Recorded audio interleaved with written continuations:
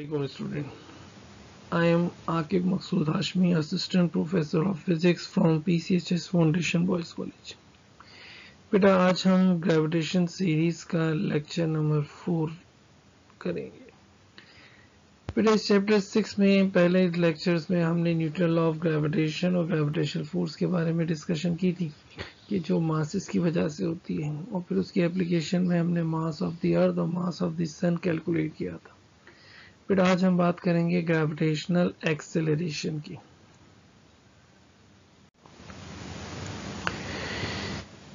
फिर Newton second law कहता है when force is acting on body then acceleration is produce in the direction of force जब किसी body पे force लगती है तो एक्सेलरेशन पैदा होता है। तो बेटा, जो फोर्स होगी, उसकी वजह से एक्सेलरेशन भी प्रोड्यूस होगा। तो न्यूटन लॉ ऑफ़ ग्रेविटेशन के मुताबिक दो बॉडीज के दरमियान एक ग्रेविटेशनल फोर्स पाई जाती है। फिर इस ग्रेविटेशनल फोर्स की वजह से जो एक्सेलेशन प्रोड्यूस होता है, उस एक्सेलेशन को हम ग्रेविटेशनल एक्सेलेशन कहते हैं। The acceleration due to the gravitational force is known as gravitational acceleration या फिर आप किसी भी जगह पर वेट और मास की रेशियो कैलकुलेट करेंगे the ratio between weight and mass of a body is equal to the gravitational acceleration बेटा ग्रेविटेशनल एक्सेलेशन का फॉर्मूला अगर हम लिखें तो जी बराबर हो जाएगा। स्मॉल जी से रिप्रेजेंट करते हैं बेटा ग्रेविटेशनल एक्सेलेशन को तो G is equal to W upon M ये तो वेट की डेफिनेशन से निकाल लिया। बेटा, जब हम mass of the earth calculate कर रहे थे तो वहाँ पर डेरिवेशन में जी बराबर आया था G M E over R E square क्योंकि उस वक्त हम मास ऑफ़ द अर्थ यानी सरफेस ऑफ़ द अर्थ पर मौजूद थे तो वहाँ पे मास अर्थ का लिया गया था डिस्टेंस सेंटर से अर्थ का सरफेस तक रेडियस के बराबर था। बेटा इन जनरल अगर आप ग्रेविटेशनल एक्सेलेरेशन का फॉर्मूला लिखोगे तो फॉर्मूला होगा G M over R square यहाँ पर m जो है वो रिप्रेजेंट कर रहा है मास ऑफ़ द प्लेनेट को। ग्रेविटेशनल एक्सेशन का फॉर्मूला जब भी लिखा जाएगा तो आप यूँ भी लिख सकते हैं g is equal to capital G m over R square capital G gravitational constant है जबकि आपके पास m जो है मास ऑफ़ द प्लेनेट को रिप्रेजेंट कर रहा है। जबकि r जो है distance from the centre of the planet कहलाएगा।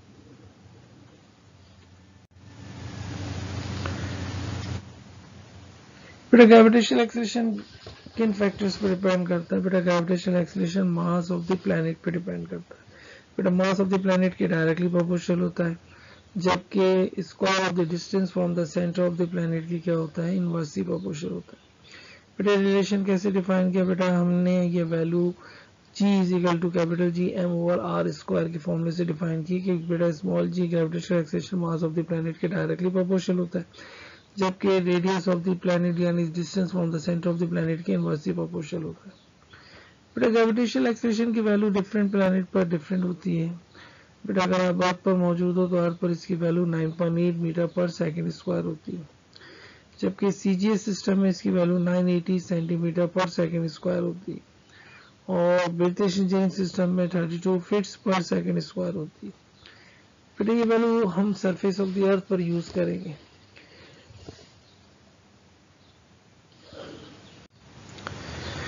Gravitational acceleration at the surface of the moon बेटा सरफेस ऑफ़ द मून पर ग्रेविटेशनल एक्सेलेरेशन की वैल्यू जो होती है, वो अर्थ के मुकाबले में कम हो जाती है। और ये इसका रिलेशन क्या होता है?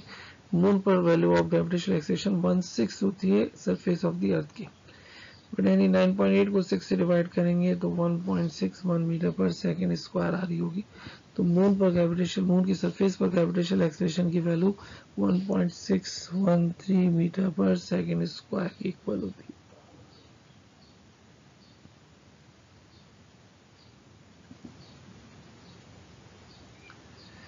तो बेटा gravitational acceleration planet to planet vary कर रही होती है, क्योंकि हर प्लैनेट का मास और उसका रेडियस सेम नहीं होगा। और ग्रेविटेशनल एक्सलेशन की वैल्यू दो फैक्टर पर डिपेंड करती है एक तो मास ऑफ़ द प्लैनेट पर और एक distance from the centre of the planet के। मास ऑफ़ द प्लैनेट के डायरेक्टली प्रोपोर्शनल होती है और सेंटर ऑफ़ द प्लैनेट के distance from the centre of the planet के inverse square times inversely proportional होती है। बट स्मॉल जी का यूनिवर्सल कांस्टेंट नहीं है। इसकी वैल्यू डिफरेंट प्लैनेट पर डिफरेंट होती है। और इस कैपिटल जी यूनिवर्सल कांस्टेंट है। इसकी वैल्यू हर जगह कांस्टेंट होती है। 6.67 into 10 power minus 11 newton metre square पर किलोग्राम स्क्वायर होती है। बेटा, इस टॉपिक से रिलेटेड कुछ पास पेपर के न्यूमेरिकल और बुक के न्यूमेरिकल्स को हम यहाँ पे डिस्कस कर रहे हैं।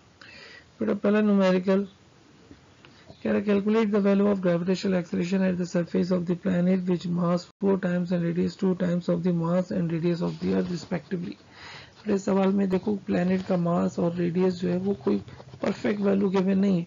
ये वैल्यू आपके पास रिलेशन में गिवन फिर उस प्लैनेट के मास को अगर हम सपोज़ कर लें तो वो अर्थ के मास के मुकाबले में फोर टाइम्स है. जबकि उसका रेडियस आर सपोज़ कर लें तो अर्थ के रेडियस के मुकाबले में टू टाइम्स है. आपने ग्रेविटेशनल एक्सलेशन की वैल्यू निकालनी है at the surface of the planet बेटा रेफरेंस वैल्यू जो लोगे वो सरफेस ऑफ़ द अर्थ पे लोगे सरफेस ऑफ़ द अर्थ पर देखो मास ऑफ़ द प्लेनेट कितना लेंगे? एम ई और radius of the planet R ही लेंगे. तो जी का फॉर्मूला क्या हो जाएगा? G M E over R E square बेटा जी की वैल्यू 9.8 मीटर पर सेकंड स्क्वायर है। बेटा आप जब उस प्लेनेट पर जाओगे तो उस प्लेनेट पर जाने के बाद उस ग्रेविटेशनल एक्सलेशन को हमने जी डैश से रिप्रेजेंट किया। बेटा जी डैश का फॉर्मूला क्या हो जाएगा? कैपिटल जी अब अर्थ का मास नहीं लेंगे, उस प्लेनेट का मास लेंगे, यानी एम और रेडियस ऑफ़ द प्लेनेट लेंगे, यानी आर का स्क्वायर फिर हमारे पास सवाल में जो कंडीशन के मैंने एम की जगह आप क्या लिखोगे? फोर एम ई जबकि आर की जगह क्या लिखोगे? टू आर ई तो बेटा फॉर्मूला क्या हो जाएगा? G dash is equal to G four M divided by two R का होल स्क्वायर बेटा टू का स्क्वायर फोर होता है। तो बेटा four G M E divided by four R E square four से फोर कैंसिल हो जाएगा तो जी डैश की value G M E over R E square की इक्वल हो जाएगी। बेटा G M E over R E square G के बराबर है। तो बेटा आपके पास जी डैश भी जी के इक्वल होगा और वैल्यू 9.8 मीटर पर सेकेंड स्क्वायर होगी। यानी एक ऐसा प्लैनेट जिसका मास अर्थ के मुकाबले में फोर टाइम्स हो और रेडियस अर्थ के मुकाबले में टू टाइम्स हो तो वहाँ पर ग्रेविटेशनल एक्सलेशन सेम होती है at the surface of the earth के। आपकी बुक का क्वेश्चन है question number two can I complete the gravitational expression at the surface of the planet Jupiter अब देखो, यहाँ पे जुपिटर का बात कर रहा है, which has diameter as 11 times of earth and mass 318 times of the अर्थ बेटा उसका डायमीटर जो है वो अर्थ के मुकाबले में 11 टाइम्स है, जबकि मास जो है वो 318 times of mass of the earth बेटा सवाल देखो, पिछले सवाल की तरह ही सॉल्व करोगे। बेटा पहले रेफरेंस वैल्यू की बात करेंगे। Reference value surface of the earth पे लिखा दी वो gravitational expression G is equal to G M E over R square के इक्वल होगा। बेटा जब आप प्लेनेट ऑफ़ जुपिटर पे जाओगे तो ये फॉर्मूला आपके पास G capital M upon R square हो जाएगा। अब क्यों बेटा, क्या बेटा, जब आप, जब प्लेनेट ऑफ़ जुपिटर पे जाओगे तो मास जुपिटर का मास लोगे और रेडियस ऑफ़ द जुपिटर लोगे। फिर आपके पास सवाल में mass 318 times of M E given है जबकि diameter 11 times of diameter of earth की गिवन है। बेटा फॉर्मूले में डायमीटर नहीं रेडियस यूज़ किया जाता है। तो बेटा डायमीटर को रेडियस में कन्वर्ट करने के लिए हम टू से डिवाइड करेंगे।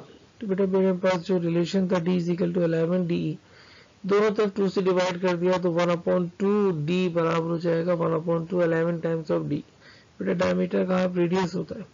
तो बेटा डी को टू से डिवाइड करोगे तो आर बन जाएगा। इसी तरह de को टू से डिवाइड करेंगे तो बेटा आर ई बन जाएगा।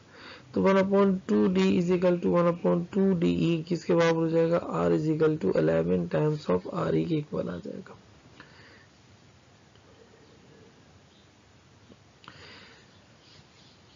तो बेटा आपके पास जी डैश की वैल्यू क्या हो जाएगी? जी मास की जगह क्या लिखा? Three one eight times of M A जबकि आर ई की जगह सॉरी आर की जगह आपने क्या लिखा? 11 टाइम्स ऑफ़ आर ई का होल स्क्वायर बेटा थ्री वन एट पहले लिख दिया जी एम ए ऊपर है क्या न्यूमिनेटर में। डिनोमिनेटर में 11 का स्क्वायर 121 हो जाएगा, और साथ में आर स्क्वायर आ जाएगा। बेटा थ्री वन एट को 121 से डिवाइड करेंगे तो बेटा आपके पास 2.63 आ जाएगा। और सवाल में क्या बच जाएगा बेटा जी एम ई और आर स्क्वायर बेटा जी एम ई और R square of gravitational expression at the surface of the earth होती है तो बेटा जी एम यू और आर स्क्वायर की जगह आपने क्या लिख दिया? जी तो प्लेनेट ऑफ़ जुपिटर पर जी की वैल्यू इंक्रीज कर गई और कितनी हो गई बेटा? 2.63 टाइम्स ऑफ़ अर्थ वैल्यू की। और 2.63 को अगर 9.8 से मल्टीप्लाई कर देंगे तो आपके पास आंसर आ रहा है 25.77 मीटर पर सेकेंड स्क्वायर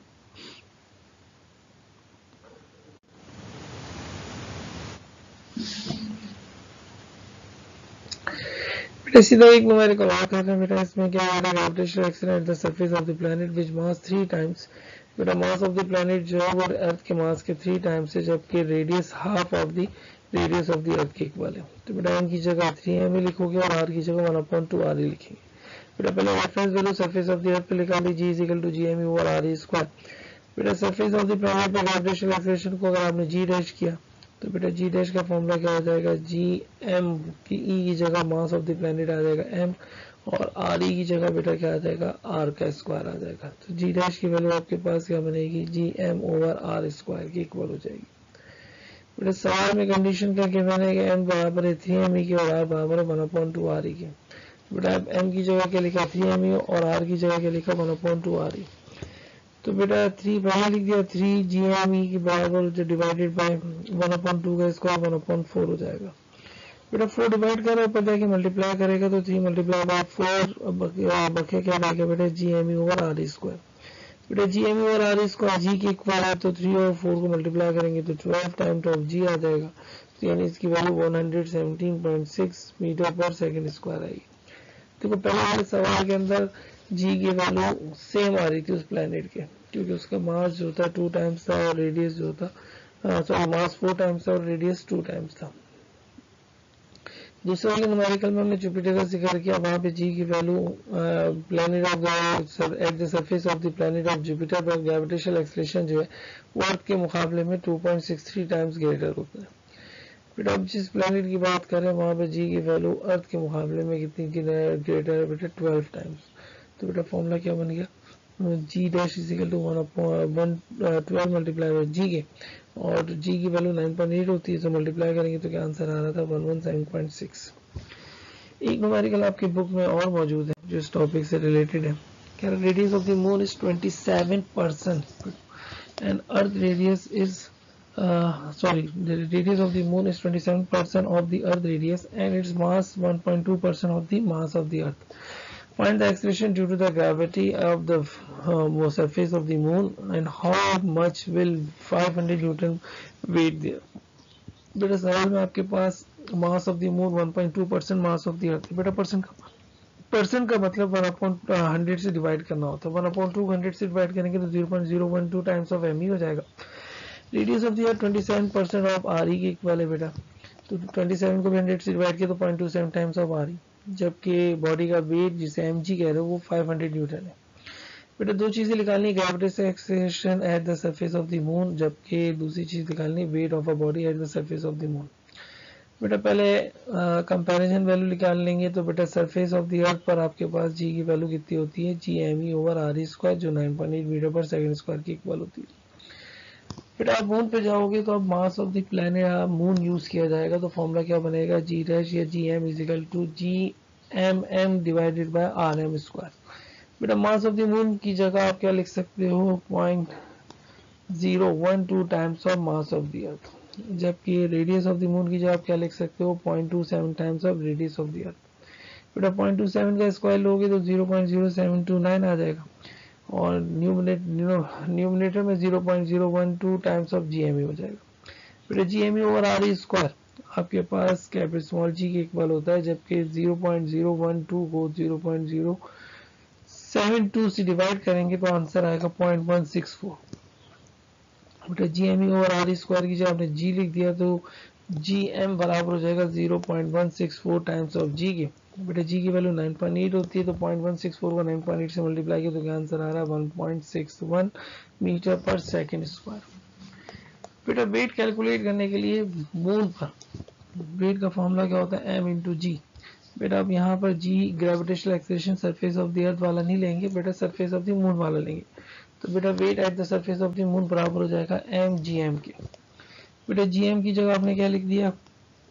0.164 टाइम्स ऑफ़ जी तो बेटा weight of uh, weight of a body at the surface of the moon is equal to 0.164 times of mg mg बेटा वेट के बराबर था शुरू में बताया था w is equal to M होता है तो बेटा w की वैल्यू आपके पास कितनी की मैंने फाइव हंड्रेड न्यूटन तो बेटा एम की जगह आपने 500 लिख दिया तो 0.164 को 500 से मल्टीप्लाई करेंगे तो आंसर आ जाएगा 82 न्यूटन बेटा, आज के लेक्चर में हमने ग्रेविटेशनल एक्सलेशन को डिस्कस किया और इससे रिलेटेड न्यूमेरिकल्स की बात की। बेटा, ये लेक्चर के बाद जो कंक्लूजन हमारी निकलती है कि ग्रेविटेशनल एक्सलेशन ग्रेविटेशनल पुल की वजह से होता है। बेटा ग्रेविटेशनल एक्सलेशन की वैल्यू डिफरेंट प्लानट पर डिफरेंट होती है। बेटा, ये इसकी value gravitational acceleration mass of the planet के डायरेक्टली प्रोपोर्शनल होता है, जबकि ग्रेविटेशनल एक्सेलरेशन जो है वो distance from the centre of the planet के स्क्वायर टाइम्स इनवर्सली प्रोपोर्शनल होता है। सरफेस ऑफ़ द अर्थ पर उसकी वैल्यू 9.8 या मीटर पर सेकंड स्क्वायर होती है 980 सेंटीमीटर पर सेकंड स्क्वायर होती है, या फिर थर्टी टू फिट्स पर सेकंड स्क्वायर होती है। बेटा मून पर ग्रेविटेशनल एक्सलेशन अर्थ के मुकाबले में वन सिक्स होता है। यानी जी की value at the surface of the moon 1.613 metre पर सेकंड स्क्वायर आती है। बेटा प्लेनेट ऑफ़ जुपिटर पर ग्रेविटेशनल एक्सलेशन की वैल्यू अर्थ के मुकाबले में 2.63 होती है। जो अर्थ के मुकाबले में ग्रेटर वैल्यू है। थैंक यू बेटा।